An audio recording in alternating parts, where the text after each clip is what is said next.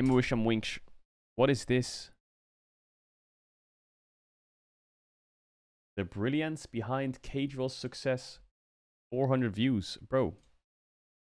Am I gonna get Am I gonna get fucking blasted? Chat, don't link the links in the chat. Link them to me on the Twitch DMs, bruh. Should we watch this? I think we should watch this. You put effort into it. I don't know, I feel really cringe watching videos about myself though. My chat is crashed. My chat crashed. Good job. I can't read chat. Stop it! Oh my god, man, this this chat is ill. Here is one that, on the surface, appears to have been seemingly random and out of nowhere in the last couple of The thing that I don't like about these videos is they like they like take a lot of the stream stuff and they're like he knowingly did this so that he could do that and then he knew that he would do this and then like he went to the T1 office and he knew he would get kicked out because he knew that they would make finals and then he knew he would get a stadium slot and then and then it, like all of this like things are all connected in their head apparently. It's it's not that deep. Years as I his just content press has start streaming, bro. exploded across all mediums, especially in the past few months. And even just a few years ago, Why are if you you showing told that? anyone that this camera-shy H2K mid laner would one day rise to the top of league content fame, it would be unlikely they would have believed you or even considered this as a possibility. As, after all, Caedrel himself couldn't even anticipate Oh my god, I didn't know there was that shot of me being depressed as fuck. Or even considered this as a possibility. As, after all, Caedrel himself couldn't even anticipate being in the position he is now, considering mean, I that for a quite while during his as a pro professional player. career, he considered himself to be in one of his lowest points ever mentally with an uncertain future ahead of him. Yet the Caedrel of today is now pulling insane viewership across multiple platforms, and his content's adaptability I just has woke led up, him man. What is that? of millions of league fans across the world. like a today, I'll be bridging the gap between these two G2 jersey, what is that? two very separate paths as well as breaking down the techniques that Caedrel used to propel himself to gaming stardom. And I Techniques? suppose there's no better place to begin than by quickly recapping his time in the professional scene. Turning back time to almost nine years ago, Caedrel's humble you didn't have to say nine. pro play origins began officially on May 13th, 2015 as he would be announced as the mid laner for Experience Esports Club, a now non-existent Spanish esports organization. He would only play for the organization for a couple of months and then bounced around various teams and levels of play until finally landing a spot on Schalke 04 in 2017, What is which that? included players such as a young Upset and Norskeren and Duo in the bot lane. And along with his teammates, Caedrel helped lift the Schalke organization into the EU LCS through winning promotion matches, concluding with a 3-0 sweep over the team Ninjas in Pajamas. Yo, NIP was kind of stacked back then. Profit was good. Shook was good.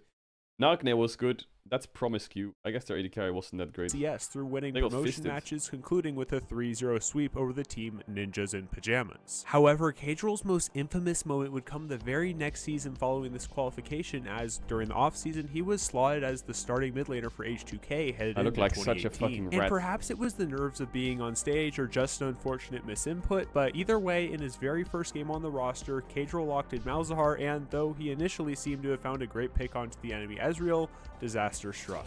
These are the tense moments, Vedius, as we enter the mid game. 2K gold lead for Vitality. One to one in the towers, a dragon advantage as well. Ready to take the fight. Flash over. How do you. Just canceled. Wait, Actually, so embarrassing when you play it that out that long. Angel just canceled it. Though That was- obviously this blunder of a player needs no real explanation, years later during an interview with the Score Esports, Caedrel would later go on to say that this misplay struck deeper than just an inability to lock down the enemy Ezreal. During this time, he recalled having some serious mental struggles, and even though this play wouldn't have been too impactful on the overall game state, it would go on to affect his mental state, which would hamper his ability to perform on a professional level. No longer properly firing on all cylinders, Caedrel's gameplay began to slowly deteriorate as Actually, like, yeah, I got mentally out of it. And then, for some reason, I said to my coach, I was like, yo, I feel like nothing's happening in the games we're playing. And I'm like, I can't play mid anymore. I'm like so out of it. I'm going to leave. Or, or I'll first time jungle on stage this weekend and we can get a sub mid laner and see if I can do anything on stage. And then- the coach trusts me. He was like, yeah, go jungle, see what happens. I was like, okay, I'll first time jungle on stage. and this was me first time in jungle.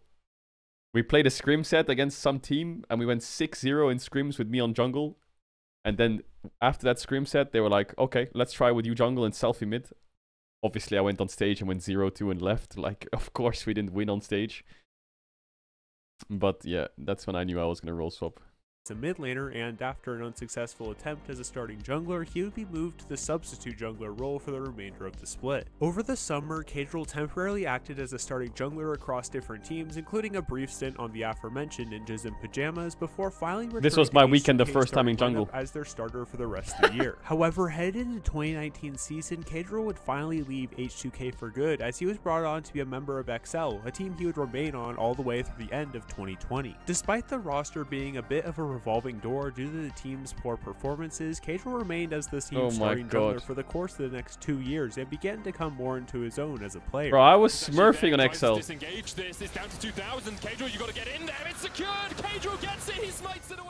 However, though 2020 would of course be a very notable year for a wide variety of reasons, perhaps the most significant turning point in Caedrel's story was his beginning. Bro, beginning you as can. both What are you doing, Mark? variety I of can see your fucking stomach. Perhaps the What is that hole? The most significant turning point in Caedrel's story was his beginnings as both a caster and content creator during What is that hole? Worlds. Caedrel, like many pros, had always done some content on the side to a small but reasonably sized audience, but crucially, his transitioning to an analyst after a repeated 7th place finish from Excel would change the output and frequency of his own personal brand and identity. By opting to become an analyst, Caedrel's digital presence shifted away from just being the person who currently played Jungle Champions on Excel and instead Oh, was. But but that game I was mega smurfing. just being the That game I was cracking skulls. By the way, like what?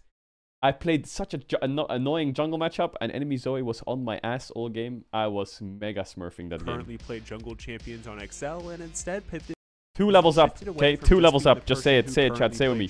Two levels up, say it. And instead pivoted towards a person who was a personality, had an on-screen presence that wasn't just a player cam, and broke down games from the perspective of a former professional player. In fact, that last part is one of the four major factors I've concluded to be behind Caedrel's immense popularity and deserved success. So let's talk Oh, about my Zed! My Now, Zed! I was crazy on Zed. First person successfully transfer from player to the analyst desk because after all, Oh, my Zed! Officio, for example, who became a broadcast staple after completing his professional career. Where these two differentiate, however, is while Officio would ultimately opt to take a more managerial role, such as his position in Misfits Gaming, Caedrel opted to grow his brand as an individual by focusing on his career as a content creator. Caedrel's ability to I'll be honest, it wasn't about growing my brand.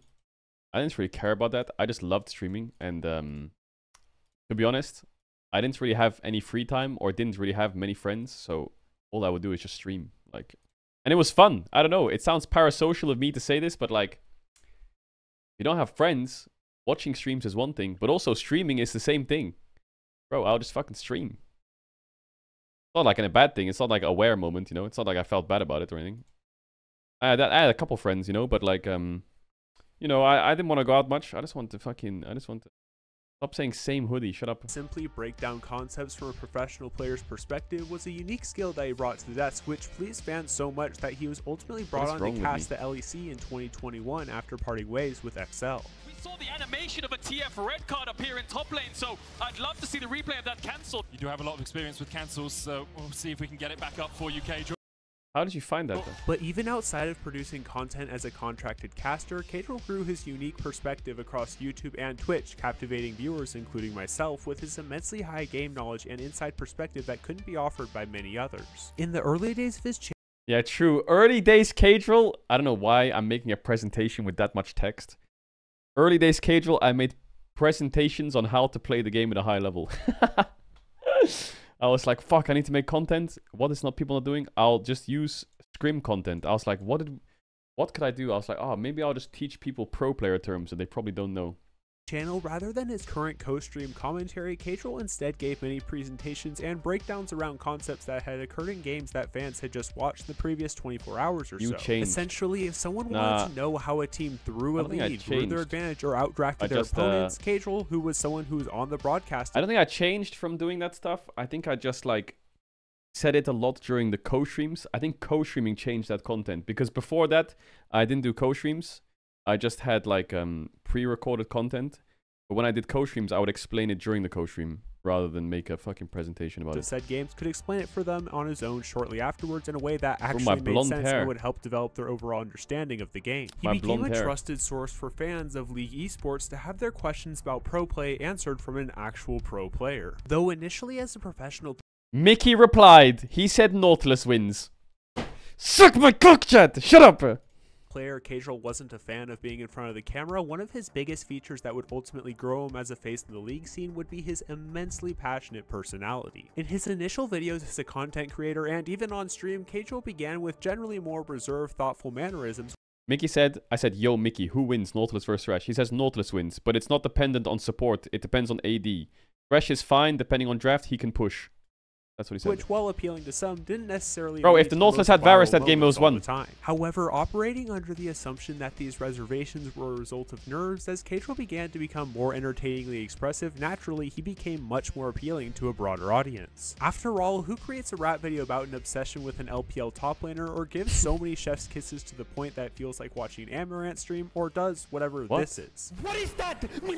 And while this increased expressiveness may make it seem That as if the content would suffer with within its quality, it actually just made it better and more popular. What is wrong with me? And even to those who aren't necessarily too interested in the professional scene of League, it's still entertaining to watch a streamer hurdle his couch, bounce his chair frequently, or react in ways that are, in reality, hard for some to publicly share. Drawing in more fans enticed by this more exaggerated behavior, Caedrel's following have adopted similar habits of being a little bit of gremlins from time to time, spreading even into the more mainstream League sphere, which of course will ultimately point viewers back to Caedrel. And in fact, all this only furthers the narrative that Caedrel's content is an approachable option for the average player who wants to have their favorite team's gameplay broken down as discussed previously. And one thing that's further enabled these over-the-top reactions and therefore Caedrel's success is his incredibly popular Clips channel, capturing these viral moments while entering Clips. his name into the market of Clips short-form classic. content. After beginning uploading on his Clips channel on October 26, 2021, Caedrel now officially had consistently uploading landing pages for people to find the three major forms Bro, of video clips these- content. a clip a just became the meta. live streams, a YouTube page for more informative, long form but still engaging content, and now a Clips channel. Oh man, I miss Mario inclined to just Kart. Yo, chat, I brought the Switch. I brought the Switch. I brought the Switch. We got Mario Kart. If- bits. set Adaptability it has been something Caedrel has especially succeeded in outside of his multiple channels, as his forms of creating content have varied throughout the last few years. I was while such a still bad actor. remaining around the same premise. While his casting career was initially what promoted him into Oh the my God, public wanna eye look at and was of course crying. something What the Caedrel really enjoyed doing, during That's so Worlds weird. 2023, Caedrel announced that he would be retiring from casting games and instead become an officially partner co-streamer. I think that's the only full-time. time I ever If cried on stream. Focus on this move solely from the content viewing perspective. Feels so weird to cry on consumer, This decision was, So to put it like, I don't know. lightly, an absolute win for Caedrel and his Rat fan base. Viewership on his main channel videos went from an impressive 100,000 or so views a video to doubling to around 200,000 views on average, with some videos hitting numbers such as 400,000, 600,000, and the series between T1 and JDG having over 1 million views. And a lot of the success of this adaptation from Caedrel can of course be accredited to his excessive fanboying of TheShy, once again reiterating What? the importance of this personality and funneling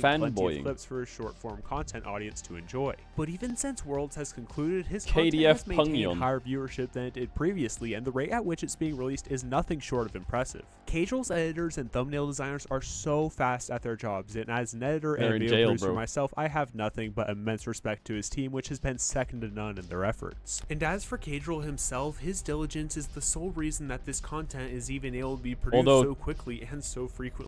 The, the, today the editor uh, the editor went in to get some surgery, so I don't think he's gonna make the video today. So video for T1 might be a bit late. in the first place. Having been a wish the editor professional luck. player for years before entering the Look at my stats, man. Holy fuck.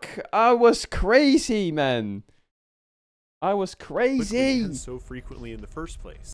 And that was after six games. Having been a professional player for years before entering the content game, Caedrel is no stranger to the grind it takes to get to the top, and with this year promising even more content than ever, he and his team show no signs of slowing down. And even as of writing this video, Caedrel has even just been signed to Fnatic as a content creator, granting him the ability to co-stream the LEC on top of his already planned streams of the LCK and LPL.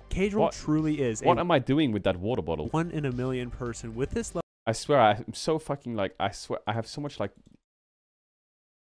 brain rot that I have to chew or touch something while I'm nervous. level of grind, determination, and pure passion for Sell out, Caedrel, what with the fuck? likable personality that really channels the inner feelings we all have sometimes as League players. Yet at the same time, his execution of his content is informative, brilliant, and ahead of the curve, and of course has led him to previously Oh, I thought I was taking a piss then. What the 100% fuck? deserved success. And if you'd like to support me as a small content creator, subscription would of course be greatly appreciated, and feel free to let me know if there are any elements you think I may have missed in my analysis. Or if you want to keep posted on all the amazing content I have lined up for this year, feel free to hang out with me on That my was a good socials, video. which are all linked down below. But yeah, with that being said, That was have a good great video. rest of your day or night. Take care, and as always, I'll catch you guys in the next video. Oh, here's the video chat if you want to give him a like or a view.